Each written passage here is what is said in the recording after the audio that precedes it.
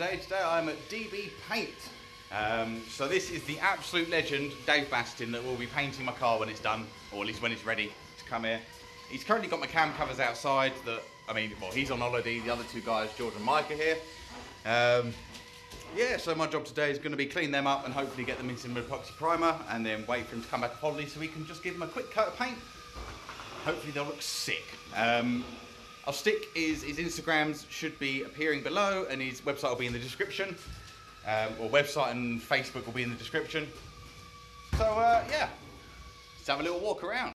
So first things to note, in the booth, we've got lovely WRX. In for some, uh, yeah, front wing repairs, other little bits and bobs roof needs doing. So if we step outside and out of the booth, we've got Mike and the S2000. Now this S2000 is George's. George, do you want to tell the world what's wrong with your S2000? It's rusty. Apart from it's rusty. Fuck. Wait, wait one second. It's not fun. It's not fucked, but I don't know if you can, uh, hopefully you can hear me over this. It's not fucked, but yet this man here. Hi, mate. Hello.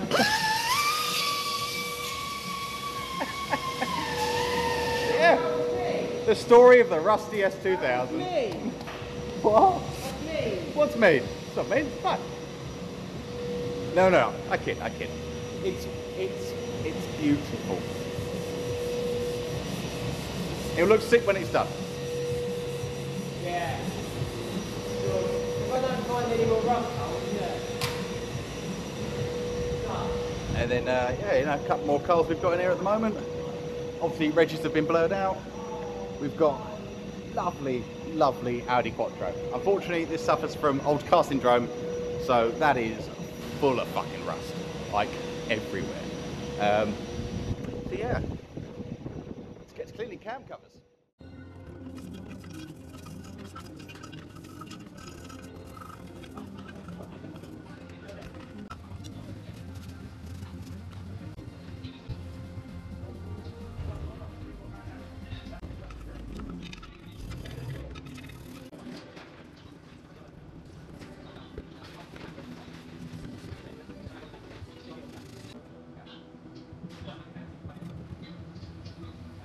Here we are back at home. Uh, had to cut the stuff at Dave's a bit short um, because I, like a knob, cut my hand the other day trying to take the uh, seal out the end or seal the rear crank seal out of the holder for the engine. Uh, managed to stab myself in the hand, filled up with thinners.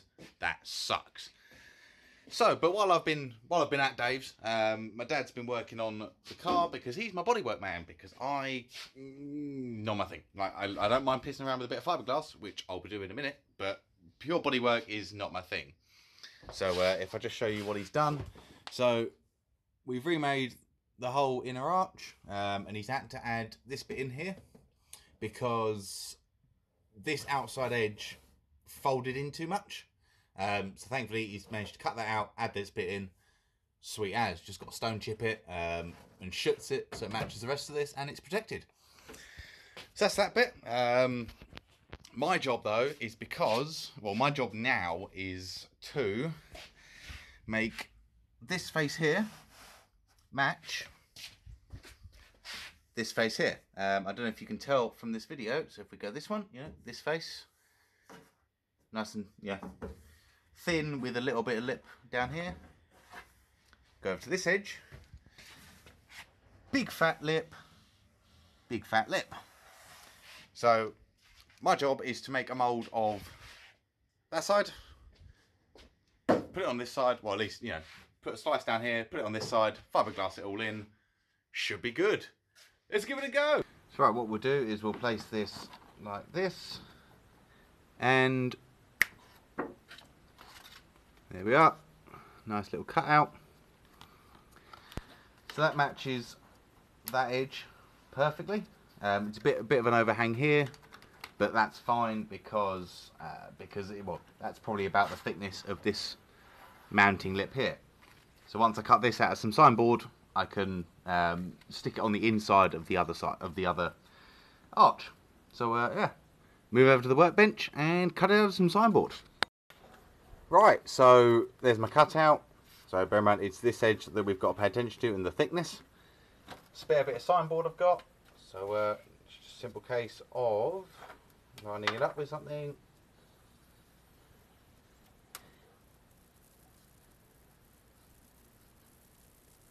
Trace around it, however badly.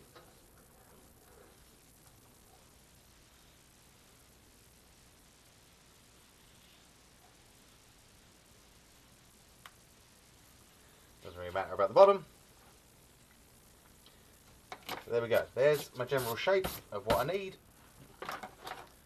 Hopefully, if these scissors will do it. Cut that out. And that will give me the shape that I need for the passenger side arch.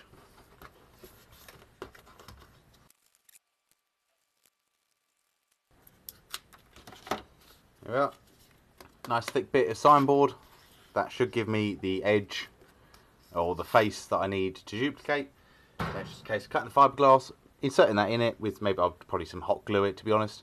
Um, and then yeah, slip some fiberglass over the top and it should make the faces equal on both sides. Give it a go. So just as a quick reference, um, this is the side that needs altering. This is the cardboard cutout, but I've just you know obviously flipped it over to match this side and uh, okay a little bit of difference but that's the thickness difference. All of that now needs to be added in. Brilliant. Right so it is only this edge I need. Uh, this bit as you can see the bumper's not mounted properly yet.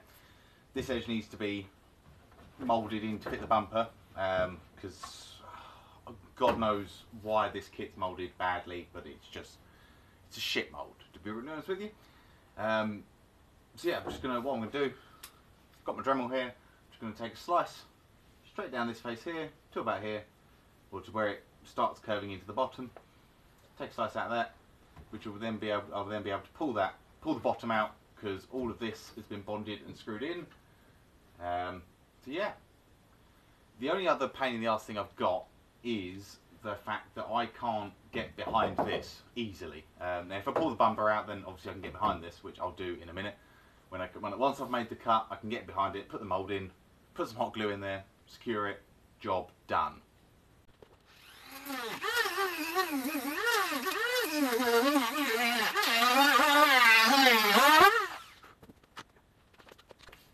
Right, so now it's been cut. Obviously you can, oh, it's not moving all that much.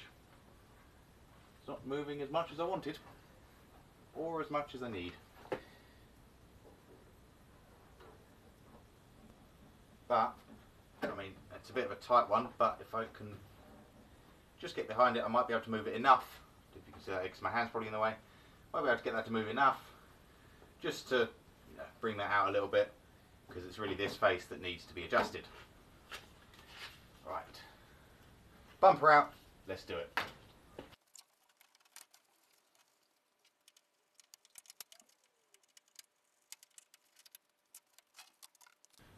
Right, so now the bumper's out. Uh, no, that's the cardboard one. This can now be put up in here. Hopefully I can push, pull that out enough.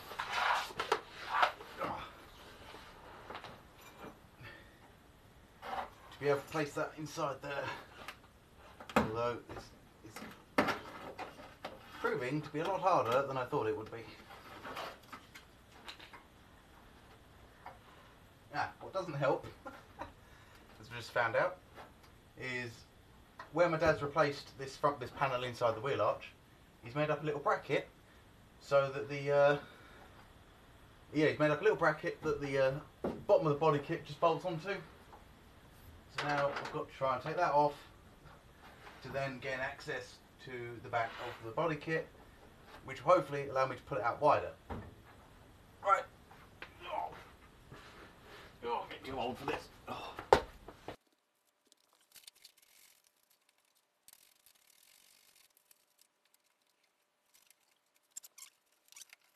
and then that should. Oh, just grab a tape measure. So on the other side, we've got 10 mil up here between this face and the edge, roughly, and at this point here, we've got roughly 40 mil. So let's have a little look here. Much easier to measure on the other side. That's about 10 mil, and that's about 40 mil. So that is now in the give or take a couple of mil, but you won't notice it in the end, hopefully.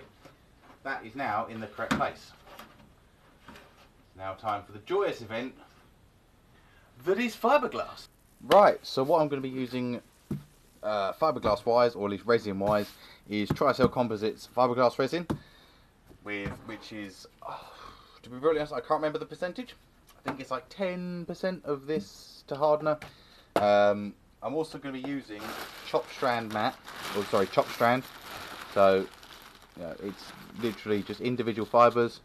Um, because you can jam it in the hole, because we all know how much we love jamming things in holes.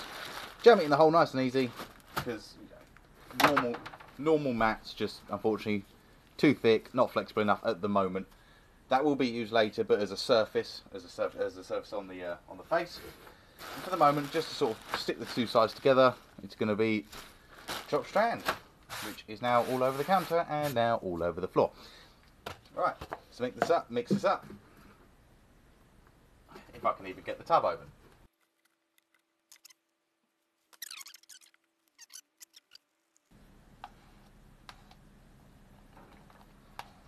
Alright, potentially a little bit watery for what I need, but screw it, we'll go with it. Right, this is where the fun begins. So we've got, you know, standard little paintbrush, our chopped mat, and our resin. So, the plan is to hopefully stick some of this in here.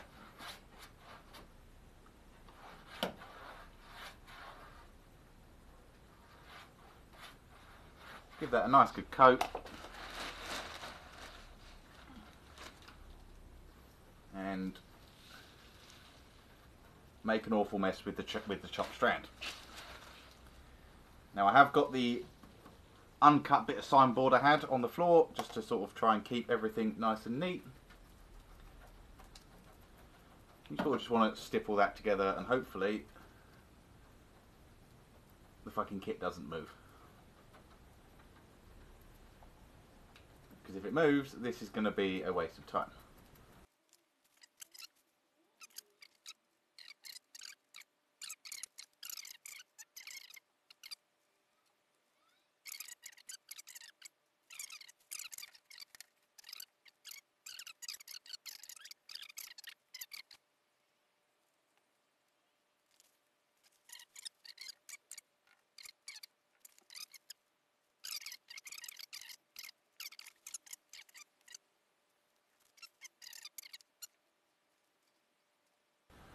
Do, probably a terrible thing, but just start folding all this over, trying to push it into the gap as best we can, just while it's all still liquid, or jelly more like.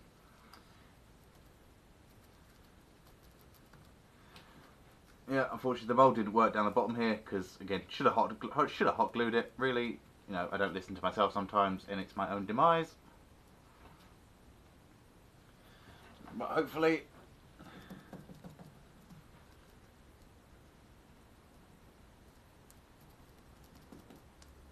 hopefully that'll do the job I want it to. And we'll have a nice fresh face for that in the morning. Put some more glass resin on there. Start folding all these random bits over. Again just take the bits off my hand pat them in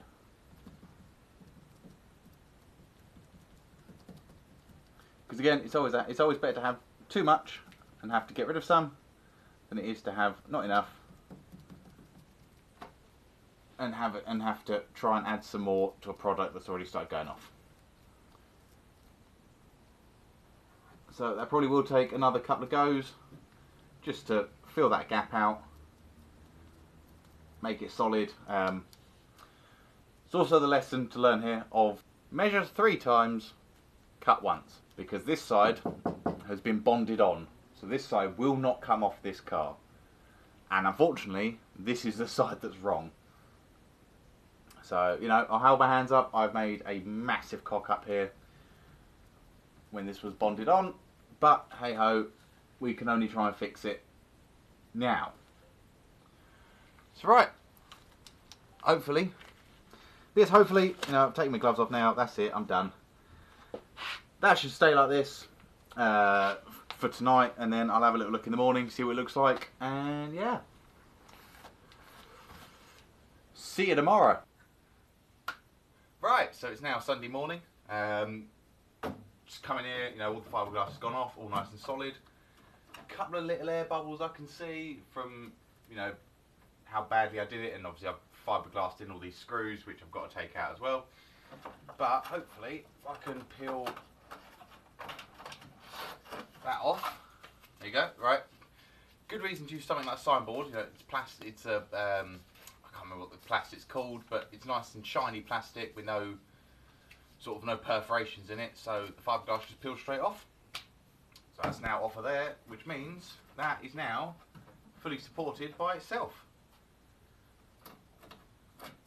I mean, apart from the air bubbles, there's about an inch of extra fiberglass behind it because the board moved. But uh, all in all, that's pretty solid.